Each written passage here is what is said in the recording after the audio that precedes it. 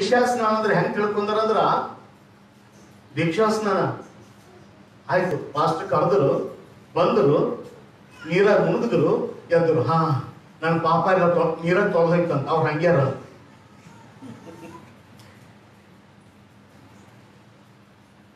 ಮುಳುಗದ್ರಿನ ಪಾಪ ತೊಳೆದು ಹೋಗಲ್ಲ ನಾನು ಮತ್ತೊಂದು ಸಾರಿ ದೀಕ್ಷಾ ಸ್ನಾನ ಹೊಂದುವಂತ ದೇವರ ಮಕ್ಕಳಿಗೆ ಹೇಳ್ತಾ ಇದ್ದೇನೆ ನೀನು ನೀರಲ್ಲಿ ಮುಳುಗುವುದರಿಂದ ನಿನ್ನ ಪಾಪ ತೊಳೆಯಲ್ಲ ನೀರಲ್ಲಿ ನಿನ್ನ ಶರೀರ ಹೂಣ ಪಡಬೇಕಾಗಿದೆ ಹೊಸ ಶರೀರವಾಗಿ ಉತ್ಪತ್ತಿ ಆಗಬೇಕಾಗಿದೆ ಆಮೇಲೆ ಆಮೇಲೆ ಅಲ್ಲೇಲುಯಾ ಪೇತ್ರನ ಬರೆದ ಮೊದಲನೇ ಪತ್ರ ಮೊದಲನೇ ಧ್ಯಾಯ ಮೊದಲನೇ ಪತ್ರ. ಪೇತ್ರನ ಬರೆದ ಮೊದಲನೇ ಪತ್ರ ಮೊದಲನೇ ಧ್ಯಾಯ ವಚನ ಇಪ್ಪತ್ತೆರಡು ಇಪ್ಪತ್ಮೂರು ನೋಡುವಾಗ. ಮೊದಲನೇ ಪೇತ್ರ ಮೊದಲನೇ ಧ್ಯಾಯ ವಚನ ಇಪ್ಪತ್ತೆರಡು ಇಪ್ಪತ್ಮೂರು ನೋಡುವಾಗ ಏನಂತ ಹೇಳ್ತದೆ?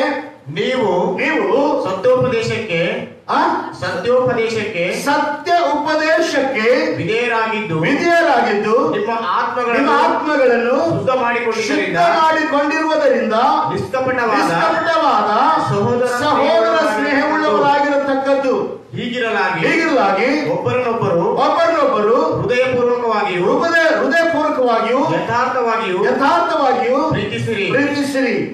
ನೀವು ನೀವು ಪುನರ್ಜನ್ಮ ಹೊಂದಿದವರಾಗಿದ್ದೀರಲ್ಲ.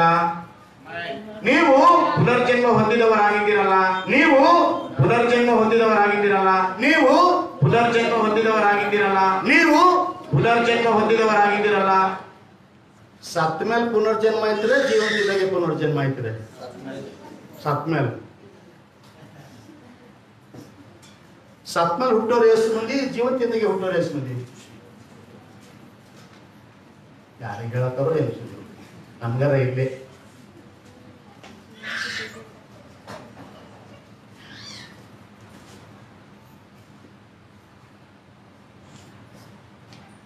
ಪುನರ್ಜನ್ಮ ಯಾವಾಗ ಸತ್ ಮೇಲೆ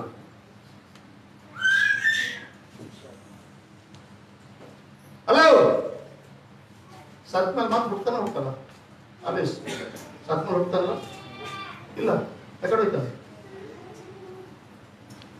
ಸತ್ಮೇಲೆ ಹುಡ್ತಾನೆ ಹುಡ್ತಾನಲ್ಲ ಹುಟ್ಟಲ್ಲ ಸತ್ ಮೇಲೆ ಹುಟ್ಟಲ್ಲ ಯಾಕಡೆ ಹೋಯ್ತಾನೆ ಬರ್ಲು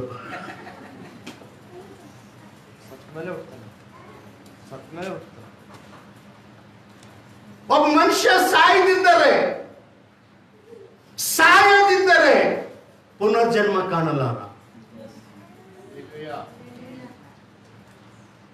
ಒಬ್ಬ ಮನುಷ್ಯ ಸಾಯದಿದ್ದರೆ ಪುನರ್ಜನ್ಮ ಇಲ್ಲ, ಸತ್ತಾದ್ಮೇಲೆ ಪುನರ್ಜನ್ಮ.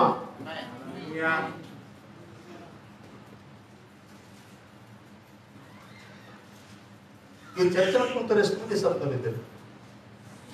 ಸತ್ತೋರು ಸ್ವಲ್ಪ ಕೈ ಎತ್ತಿರಪ್ಪ. ಸತ್ತರು ಸತ್ತೋರು.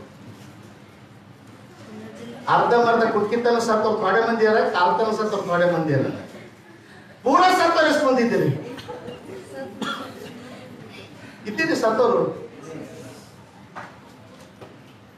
ಹಲೋ ವಾಕ್ಯದಾಗ ನೋಡಿದಾಗ ಜೀವಿಸುವವನು ಎಂಬ ಹೆಸರು ನಿನಗಿದ್ದರೂ ನೀನು ಸತ್ತವನಾಗಿದ್ದಿ.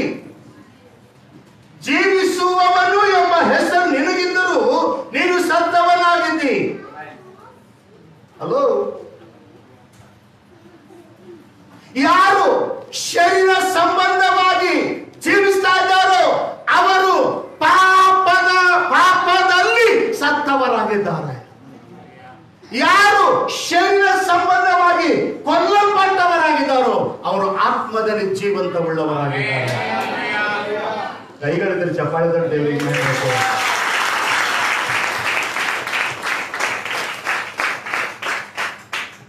ಶರೀರ ಸಂಬಂಧ ಕೊಲ್ಲಲ್ಪಟ್ಟು ಆತ್ಮ ಸಂಬಂಧದಲ್ಲಿ ಬದುಕುವವನೇ ಕ್ರಿಸ್ತನ ಮಗನಾಗಿದ್ದಾನೆ.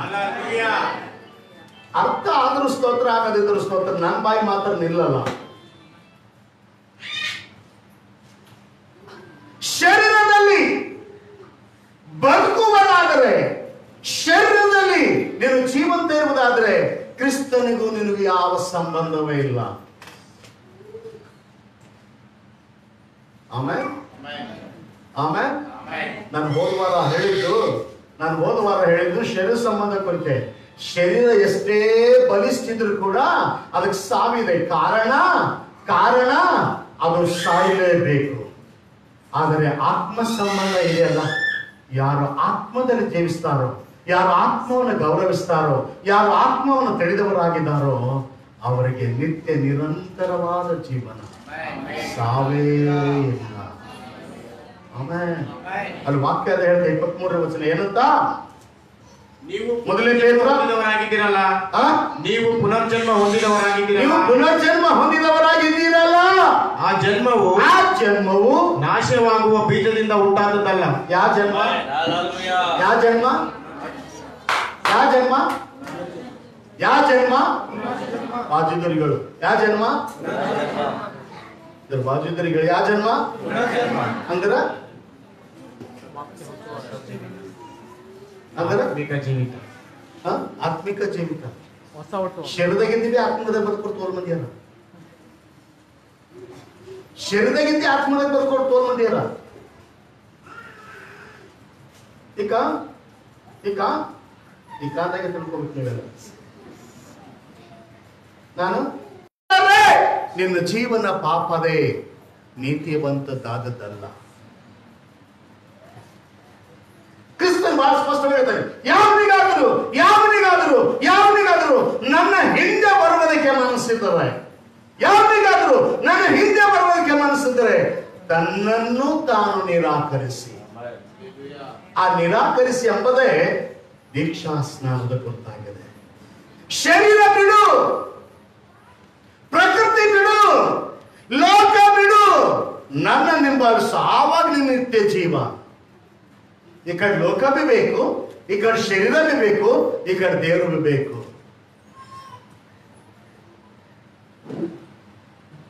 ಆಮೇಲೆ? ಆಮೇಲೆ? ಅಲ್ಲೇ ಈ ಯೋಚನೆ ಮಾಡಿ ನೀವು ಶರೀರದಲ್ಲಿದ್ದೀರಾ, ಆತ್ಮದಲ್ಲಿದ್ದೀರಾ? ಹಲೋ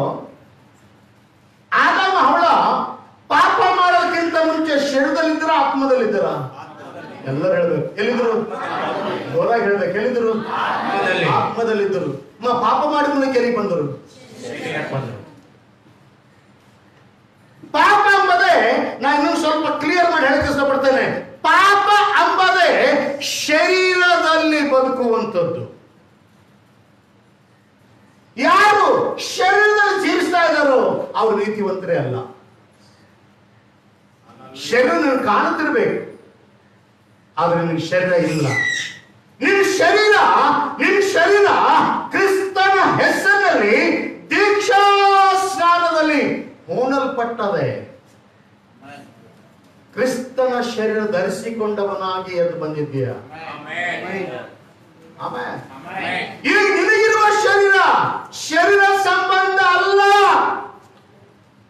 ಕ್ರೈಸ್ತಿಯ ದೀಕ್ಷಾ ಸ್ನಾನ ಎನ್ನುವಂಥದ್ದು ಶರೀರ ಸಂಬಂಧ ಅಲ್ಲ. ಶರೀರ ಸಂಬಂಧ ಕೊಲ್ಲಲ್ಪಟ್ಟು ಆತ್ಮ ಸಂಬಂಧವಾಗಿ ಹುಟ್ಟುವಂಥದ್ದು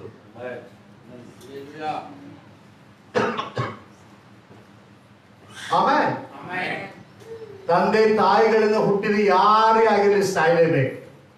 ನಾ ಆಗಿರ್ಲಿ, ನಮ್ಮ ಅಪ್ಪ ಆಗಿರ್ಲಿ, ನಮ್ಮ ಮುತ್ತಿ ಆಗಿರ್ಲಿ, ಮುತ್ತಿನ ಮುತ್ತಿ ಆಗಿರ್ಲಿ. ಶರೀರ ಸಂಬಂಧ ಹುಟ್ಟಿದ್ದೆ ಆದ್ರೆ ಸಾಯಲೇಬೇಕು, ಶರೀರ ಬಿಡಲೇಬೇಕು. ಆದರೆ ಆತ್ಮ ಸಂಬಂಧವಾಗಿ ದೇವರ ವಾಕ್ಯವೆಂಬ ಬೀಜದಿಂದ ಉತ್ಪತ್ತಿಯಾದಾಗ ಅದಕ್ಕೆ ಸಾವೇ ಇಲ್ಲ. ಈಗ ನಾವು ಕ್ರಿಸ್ತನ್ ಬಂದ ಕಾರಣ ಏನು ಗೊತ್ತದ? ನಾವು ನಿತ್ಯತ್ವದಲ್ಲಿ, ನಿತ್ಯ ಜೀವನದಲ್ಲಿ ಬಾಯಿ ಹೇಳ್ತೇವೆ, ಏನು? ನಿತ್ಯ ಜೀವನ. ಎಂತ ಜೀವನ? ಎಂತ ಜೀವನ? ಎಂತ ಜೀವನ? ನಿತ್ಯ ಜೀವನ. ಅಂದ್ರೆ ಅದಕ್ಕೆ ಮರಣನೇ ಇಲ್ಲ. ಎಷ್ಟು ವರ್ಷ? ಏ ಅದಕ್ಕೆ ಆಯುಷ್ಯ ಕಾಲ ಒಂದು ಸಾವಿರ ವರ್ಷ. ಅದಕ್ಕೆ ಆಯುಷ್ಯ ಕಾಲ ಒಂದು ಎರಡು ಸಾವಿರ ವರ್ಷ. ಅದಕ್ಕೆ ಆಯುಷ್ಯ ಕಾಲ ಒಂದು ಮೂರು ಸಾವಿರ ವರ್ಷ. ಹತ್ತು ಸಾವಿರ ವರ್ಷ. ಇಪ್ಪತ್ತು ಸಾವಿರ ವರ್ಷ. ಇಲ್ಲ ಇಲ್ಲ ಇಲ್ಲ ಇಲ್ಲ ಇಲ್ಲ. ಅದಕ್ಕೆ ಕಾಲನೇ ಇಲ್ಲ. ಕಾಲಾಂಕಾಲ ಬದುಕಬೇಕಾದದ ಅದೇ ನಿತ್ಯ ಜೀವನ. ನಾ ಈ ಕೊನೆ ಕ್ಷಣಕ್ಕೆ ಬಂದು ಮುಗಿಸ್ಲಿಕ್ಕೆ ಇಷ್ಟಪಡ್ತೇನೆ. ಆತ್ಮಿಕವಾಗಿ ಆತ್ಮರಕ್ಷಣೆಗಾಗಿ ಯಾರಾದರೂ ಕ್ರಿಸ್ತನಲ್ಲಿ ಹುಟ್ಟುವುದಾದ್ರೆ ನಿನಗೆ ಸಾವೇ ಇಲ್ಲ. ನಿನಗ ಸಾವೇ ಇಲ್ಲ. ನಿನಗ ಮರಣ ಮುಟ್ಟುವುದೇ ಇಲ್ಲ. ನಿನ್ನೆಲ್ಲ ಮರಣ ತಾಳ್ಮಿಕೆ ಮಾಡ್ಲಿಕ್ಕೆ ಹಕ್ಕೇ ಇಲ್ಲ. ಯಾಕಂದ್ರ ನೀನು ಆತ್ಮ ಸ್ವರೂಪನಾಗಿದ್ದೀಯ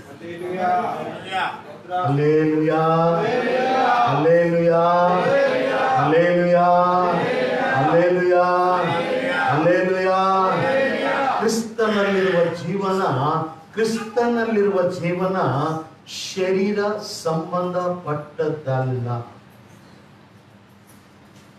ಅದು ಆತ್ಮ ಸಂಬಂಧಪಟ್ಟದ್ದು. ಅದಕ್ಕೆ ವಾಕ್ಯ ಬಹಳ ಸ್ಪಷ್ಟವಾಗಿ ಹೇಳ್ತದೆ. ದೇಹದಿಂದ ಹುಟ್ಟಿದ್ದು ದೇಹದಿಂದ ಹುಟ್ಟಿದ್ದು ದೇಹವೇ. ಆತ್ಮದಿಂದ ಹುಟ್ಟಿದ್ದು ಆತ್ಮವೇ. ನೀ ಆತ್ಮ ಅಂದ್ರ ಹಿಂಗ್ ಟಿಟೆ ಗೋಲದೇನು ಎಟ್ಟದ ಆತ್ಮ ಆತ್ಮ ಇಟ್ಟದ ಏನ್ ಆತ್ಮ ಇಟ್ಟದ ಒಂದ್ ಕಿಲೋ ಹತ್ತು ಕಿಲೋ ಏಟದ ಗೊತ್ತಿಲ್ಲ ಗುಂಡಿಗೆ ಇಟ್ಟದ ನಾ ಎಷ್ಟು ಬೆಳೆದಿದ್ದೇನೋ ಅಷ್ಟು ಹಾ ನಾವು ಎಷ್ಟು ಬೆಳೆದಿದ್ದೇವೆ ಅಷ್ಟು ಎಷ್ಟು ಬೆಳೆದಿದ್ದೇವೆ ಅಷ್ಟು ಹಾ ನೀವು ಎಷ್ಟು ಬೆಳೆದಿರಿ ಅಷ್ಟದ ನಿನ್ನ ಗುಂಡಿಗೆ ಮುಟ್ಟಿ ಅಷ್ಟು ಇರ್ಬೋದು ನಿನ್ನ ಗುಂಡಿಗೆ ಮುಟ್ಟಿ ಅಷ್ಟು ನನ್ನ ಆದ್ರೆ ನಿನ್ನ ಆತ್ಮಿಕ ಜೀವನ ಮುಟ್ಟಿಯಷ್ಟಲ್ಲ ನೀನು ನಿನ್ನ ಆತ್ಮಿಕ ಜೀವನ ಮುಟ್ಟಿ ಅಷ್ಟಲ್ಲ ನಿನ್ನ ಆತ್ಮಿಕ ಜೀವನ ನಿನ್ನ ಆತ್ಮಿಕ ಜೀವನ. ಅಲೋ ಈಗ ನನ್ನ ಶರೀರ ಎಷ್ಟು ಕಾಣ್ತವ ನನ್ನ ಶರೀರ ಕಾಣ್ತವ ಎಷ್ಟು ಮಂದಿ ಸ್ವಲ್ಪ ಕೈ ತೋರಿಸಿ ನನ್ನ ಶರೀರ ಕಾಣ್ತವ ಕಾಣ್ತದ? ಹೊರಗೆ ಶರೀರ ಎಷ್ಟದಲ್ಲ ಆತ್ಮಿಕ ಜೀವನ ಕೂಡ ಅಷ್ಟೇ. ಶರೀರ ಕೈ ಅದ ಆತ್ಮಕ್ಕೂ ಕೈ ಅದ. ಶರೀರ ತಲೆ ಅದ ಆತ್ಮಕ್ ಬಿ ತಲೆ ಅದ ಶರೀರ ಕಾಲವ ಆತ್ಮಕ್ ಬಿ ಕಾಲವ. ಶರೀರ ಕಣ್ಣವ ಆತ್ಮಕ್ ಬಿ ಕಣ್ಣವ. ಶರೀರ ನಡೆದಾಡ್ತದ ಆತ್ಮದೇ ನಡೆದಾಡ್ತದ. ಅರ್ಥ ಆಗಿಲ್ಲ. ಆಮೇ ನೀವು ಹೊರಗೆ ಹೇಳ್ತಿದ್ದಿ ಒಳಗಷ್ಟೇ ಇದ್ದಿ. ಕೆಲವೊಂದ್ರ ಒಳಗೆ ಇಟ್ಟಿಟ್ಟದ ನಮ್ಮ ಆತ್ಮ ಇರುವಿನ ಇರುವಿನ ಜೀವ ಇವನ್ ಜೀವ ಒಟ್ಟಿ ಅದ ಏನಂತ ಇರುವಿನ ಜೀವ? ಏನದ? ಇಟ್ಟಿಟ್ಟಿ ಅಲ್ಲ? ಅಲೋ ಈ- ವಿಷಯ ನಾನು ಯಾಕೆ ಬಿಚ್ಚಿಸ್ತಾ ಇದ್ದೀವಿ ಅಂದ್ರೆ, ನಿತ್ಯ ನಿರಂತರ ಜೀವಿಸಬೇಕು, ನಿತ್ಯ ನಿರಂತರ ಬದುಕಬೇಕು ಅನ್ನೋದು ಆಸೆ ಇರಲ್ಲ ಅಂದ್ರೆ ಅಲೋ ಈ ಶರೀರಕ್ಕೆ ಏನ್ ಬೇಕಪ್ಪ? ಬದುಕಬೇಕಾದ್ರೆ ಶರೀರಕ್ಕೆ ಏನ್ ಬೇಕು? ಗಾಳಿ ಬೆಳಕು ಗಾಳಿ ಬೆಳಕು ನೀರು ಊಟ ಬಟ್ಟೆ ಮನೆ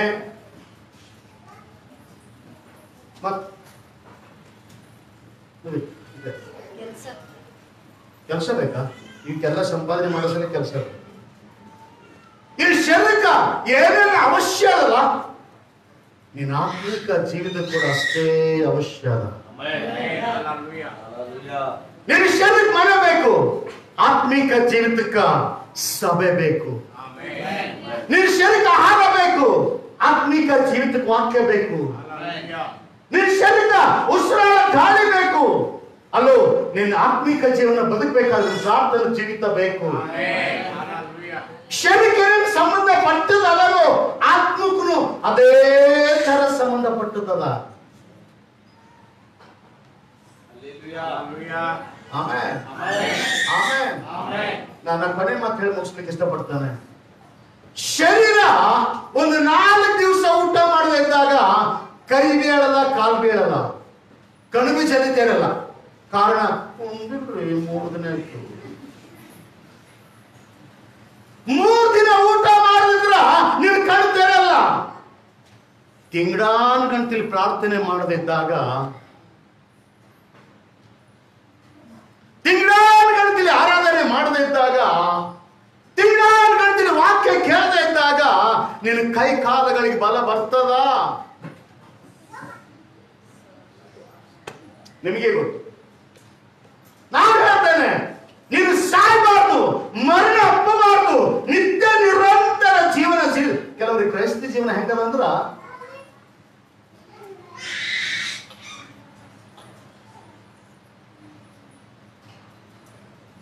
ಏಯ್. ಈಗ? ಮುದುಕಾಗಿದೆ ನೋಡಿ. ನೀನು ಸಾಕಿ ಏಜ್ ಆಗ್ಯದಲ್ಲ ನಿನಗ ಪೂರಾ ಸಾಯಿಸ್ತಕ್ಕ ಪಗಾರ ಸಿಕ್ತು. ಅದಕ್ಕೊಂದು ಫಾರಂ ತುಂಬಿಸ್ಕೊಡು. ನಿನಗೆ ಸಾಯಿಸ್ತಾನ ಅನ್ನ ಹಾಕ್ತಾರ. ಸಾಯಿಸ್ತಾನ ಬಗ್ಸು ಎದ್ದು ಬಿದ್ದು ಎದ್ದು ಬಿದ್ದು ಅದು ಮಾಡಕ್ಕೆ ನಾವು ನೋಡ್ತಾ ಇದ್ದೀವಿ.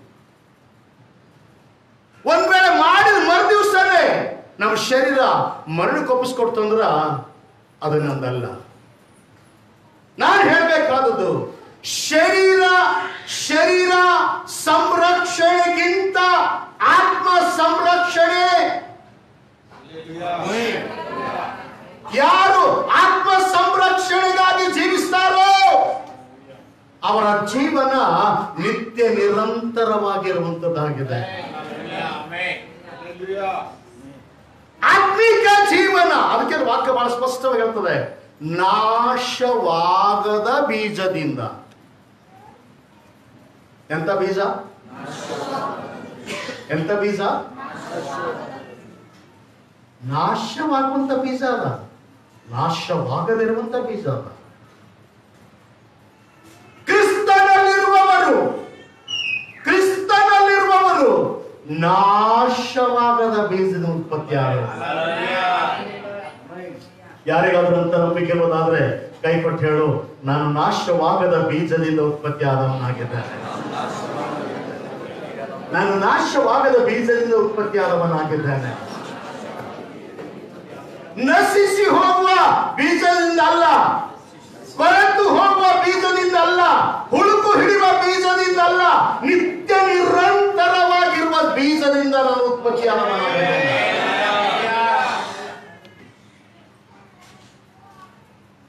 ನನ್ನ ಬೇಜಾರು ಎಲ್ಲಿ ಗೊತ್ತಾ ಬೇಜಾರು ಎಲ್ಲಿ ಅಂದ್ರ ದೇವರಿಗೆ ಊಟ ಕುಪ್ಪಲಕಾಯಿ ಮಾಡ್ಕೊಂಡ್ರು. ಅರ್ಥ ಆಗಿಲ್ಲ ಊಟಕ್ಕ ಕುಪ್ಪಲಕಾಯಿ ಮಾಡ್ಕೊಂಡ್ರು. ಎಷ್ಟು ಮಂದಿ ಊಟ ಕುಪ್ಪಲಕಾಯಿ ಅಂದ್ರೆ ಅರ್ಥ ಆಯ್ತು. ಬಾಯಿ ರುಚಿ ಅಂತ ನೋಡ್ತು ಅಂದ್ರ ಇದರ ಉಳ್ಳ ಕೀಟನ್ನ ಸಮಸ್ಯೆ ಬಂದಾಗ, ಕಷ್ಟ ಬಂದಾಗ, ಕೊರತೆ ಬಂದಾಗ, ಆಪತ್ತು ಬಂದಾಗ, ರೋಗ ಬಂದಾಗ, ಶರೀರ ಏನೆಲ್ಲ ಕಾರಣಗಳು ಅಪ್ಕೊಂಡಾಗ ಯಪ್ಪಾ ದೇವ್ರೇ ಯಾವಾಗ ನೀನು ಹೊಸದಾಗಿ ಹುಟ್ಟುತ್ತೀಯೋ ಯಾವಾಗ ನೀನು ಕ್ರಿಸ್ತನಲ್ಲಿ ಜೀವಿಸ್ತೀಯೋ ಮರಣ ನಿನ್ನನ್ನು ಮುಟ್ಟುವುದೇ ಇಲ್ಲ ರೋಗ ನಿನ್ನ ಮುಟ್ಟುವುದೇ ಇಲ್ಲ ಅಪಾಯ ನಿನ್ನ ಮುಟ್ಟುವುದಿಲ್ಲ ಗಂಡಾಂತರ ಮನೆ ಹತ್ರಕ್ಕೂ ಬರುವುದಿಲ್ಲ ಆಮೆನ್. ಆಮೆನ್. ಆಮೆನ್. ಆಮೆನ್. ಬಹಳ ಸಿಂಪಲ್ ಬಹಳ ಸರಳ ಬಹಳ ಜನ ಕ್ರಿಸ್ತನಿಗೆ ಅರ್ಥ ಮಾಡ್ಕೊಂಡಿದ್ದೇ ಬೇರೆ. ಕ್ರಿಸ್ತನಿಗೆ ಅರ್ಥ ಮಾಡ್ಕೊಂಡಿದ್ದೇ ಬೇರೆ. ಯಾಕಪ್ಪ ಯಶೋಮಿ ನಂಬಿದೆ ಅಂತ ಹೇಳಿ ರಾಬರ್ಟ್ ಕೇಳಿದ್ರೆ? ರಾಬರ್ಟ್ ಹೇಳ್ತಾನ ಸಾಬ್ರೆ ನಾ ಯಶೋಮಿ ನಂಬಿದ ಮೇಲೆ ನೌಕರಿ ಬಂತು ನೋಡ್ರಿ ನಾನು ಯಶೋಮಿ ನೌಕರಿ ಸಲಕ್ ಬಂದಿಲ್ಲ. ನಾ ಯಶೋಮಿ ನಂಬಿದ ಮೇಲೆ ನನಗ. ಹಲೋ?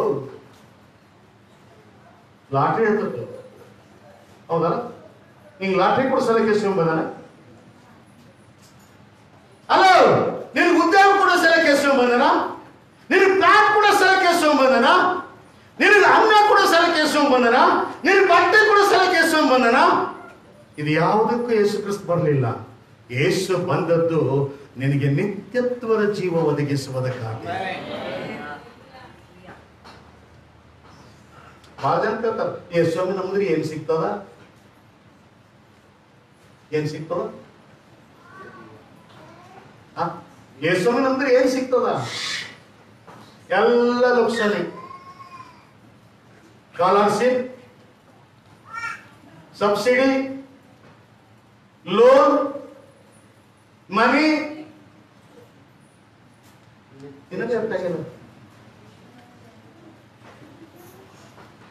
ಎಲ್ಲ ವೇಸ್ಟ್ ನಶಿಸಿ ಹೋಗುವುದೆಲ್ಲ ಲೈವ್ ಹೋಗ್ತದೆ. ಆದ್ರೆ ನಿತ್ಯ ನಿರಂತರವಾದ ಜೀವನ ಆತ ನಮಗೆ ಕೊಡುವ ಶಕ್ತನಾಗಿದ್ದಾನೆ. ಎಷ್ಟು ಮಂದಿ ಹೇಳ್ತಾರೆ, ಯೇಸು ನನಗೆ ಬೇಕು ಅಂತ ಹೇಳಿ. ಏಸು ಬೇಕಾ? ಯೇಸು ಬೇಕಾ? ಶರೀರ ಬೇಕಾ? ಯೇಸು ಬೇಕಾ? ಶರೀರ ಬೇಕಾ. ನಾನು ಸ್ಪಷ್ಟವಾಗಿ ಹೇಳ್ತೇನೆ ಏಸು ಬೇಕಾ? ಶರೀರ ಬೇಕಾ. ಯೇಸು ಬೇಕು. ಶರೀರ ಬೇಡ. ಏಸು ಇದ್ದರೆ ಶರೀರ ಇದ್ದೇ ಇರ್ತದೆ. ಅದು ಆತನ ಸೇವೆಗಾಗಿರ್ಬೋದು, ಆತನ ಯೋಜನೆಗಾಗಿರ್ಬೋದು, ಆತನ ಕಾರ್ಯಗಳಿಗಾಗಿರ್ಬೋದು, ಆದರೆ ಯೇಸು ಎಲ್ಲಿದ್ದಾನೋ ಅಲ್ಲಿ ಏನೆಲ್ಲ ಇದೆ? ಶರೀರ ಇಲ್ಲಂತಲ್ಲ ಇದೆ. ಆದ್ರೆ ಕ್ರಿಸ್ತನು ಬರುವಾಗ ಆತನ ಶರೀರದಲ್ಲಿ ನೀನು ಮಾರ್ಪಟ್ಟವನಾಗಿರ್ತೀಯ. ಆಮೇನ್. ಆಮೇನ್. ಆಮೇನ್. ಆಮೇನ್. ಈಗ ನಾನು ಕೇಳಕ್ ಇಷ್ಟಪಡ್ತೇನೆ. ನೀವು ದೇಹದಿಂದ ಹುಟ್ಟಿದವರ? ಆತ್ಮದಿಂದ ಹುಟ್ಟಿದವರ ಆತ್ಮದಲ್ಲಿ ಹುಟ್ಟಿದವರು ಎಷ್ಟು ಜನ ಇದ್ದೀರಿ? ಆತ್ಮದಿಂದ ಹುಟ್ಟಿದವರು. ಶರೀರದಿಂದ ಅಲ್ಲ. ಶರೀರ ಹುಟ್ಟಿದ ಮೊದಲು ಶರೀರದಿಂದ. ಆದ್ರೆ ಈಗಿಲ್ಲ. ಈ ಕ್ರಿಸ್ತನಲ್ಲಿರುವುದರಿಂದ ನಾನು ಆತ್ಮವಾಗಿ ಹುಟ್ಟಿದ್ದೇನೆ. ಆಮೇಲೆ ಆಮೇಲೆ ಆತ್ಮೀಕವಾದ ಜೀವನ ನಿತ್ಯ ನಿರಂತರವಾದ ಜೀವನ ಇದೆ.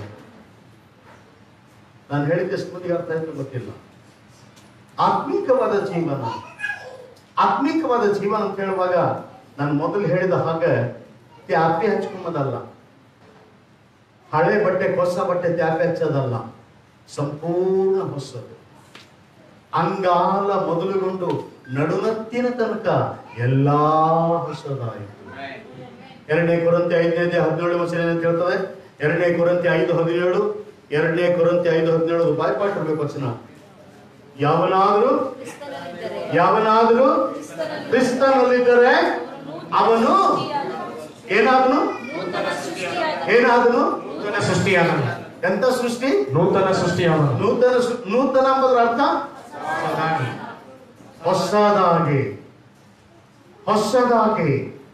ಹೊಸದಾಗಿ. ನಾನು ಪದೇ ಪದೇ ಹೇಳ್ತೇನೆ ಹೊಸದಾಗಿ ಹುಟ್ಟದಿದ್ದರೆ ಹೊಸದಾಗಿ ಹುಟ್ಟದಿದ್ದರೆ ದೇವರ ರಾಜ್ಯ ಕಾಣಲಾರ. ಗೊತ್ತಿಲ್ಲ, ಯಾಕೆ ನಮ್ಮ ಸಭೆಗೆ ಆವಿಷ್ಯ ಕೊಡ್ತಾ ಇದ್ದಾರೆ ಇವತ್ತು ಗೊತ್ತಿಲ್ಲ. ಹೊಸದಾಗಿ ಹುಟ್ಟದಿದ್ದರೆ ದೇವರ ರಾಜ್ಯ ಕಾಣಲಾರೆ. ಇವತ್ತು ನಾನು ಕ್ರಿಸ್ತನಲ್ಲಿ ವಾಕ್ಯ ನನ್ನ ಹೃದಯದಲ್ಲಿ ಬೇರೂರುವುದರಿಂದ, ವಾಕ್ಯ ನನ್ನ ಹೃದಯದಲ್ಲಿ ಬೇರೂರುವುದರಿಂದ ನಾನು ನೂತನ ಸೃಷ್ಟಿಯಾಗಿ ಹುಟ್ಟಿದ್ದೇನೆ. ಎಷ್ಟು ಮಂದಿ ನೂತನ ಸೃಷ್ಟಿಯಾಗಿ ಹುಟ್ಟಿದ್ದೇನೆ? ನೂತನ ಸೃಷ್ಟಿಯಾಗಿ ಹುಟ್ಟಿದ್ದೇನೆ ಅನ್ನೋದ್ರೆ ತಿಳ್ಕೊಳ್ತೀರಾ? ನಾನು ಕ್ರಿಸ್ತನಲ್ಲಿ ನೂತನ ಸೃಷ್ಟಿ. ನಾನು ಕ್ರಿಸ್ತನಲ್ಲಿ ನೂತನ ಸೃಷ್ಟಿ. ನಾನು ದೇವರ ರಾಜ್ಯದಲ್ಲಿ ನೂತನ ಸೃಷ್ಟಿ. ನಾನು ದೇವರ ರಾಜ್ಯದಲ್ಲಿ ನೂತನ ಸೃಷ್ಟಿ. ಆಮೇ ಆಮೇಲೆ ಆಮೇಲೆ ಆಮೇಲೆ ಆಮೇಲೆ ಆಮೇಲೆ ಆಮೇಲೆ ಸ್ವಲ್ಪ ಕಣ್ಣುಗಳನ್ನು ಮುಚ್ಚಿಕೊಂಡು ಯೋಚನೆ ಮಾಡಿ. ಒಂದು ಎರಡು ನಿಮಿಷ, ಒಂದು ನಿಮಿಷ. ನಿಮ್ಮ ಕಣ್ಣುಗಳನ್ನು ಮುಚ್ಚಿಕೊಡ್ರಿ ನಿಮ್ಮ ಕಣ್ಣುಗಳನ್ನು ಮುಚ್ಕೊಳ್ರಿ ನಾನು ದೇಹ ಸಂಬಂಧವಾಗಿ ಬದುಕುವವನಲ್ಲ. ನಾನು ದೇಹಕ್ಕಾಗಿ ಜೀವಿಸುವವನಲ್ಲ. ನಾನು ಏನಿದ್ದರೂ ಆತ್ಮ ಸಂಬಂಧವಾಗಿ ಬದುಕುವನಾಗಿದ್ದೇನೆ ನಾನು ಆತ್ಮೀಕ ರೀತಿಯಲ್ಲಿ ಜೀವಿಸುವವನಾಗಿದ್ದೇನೆ.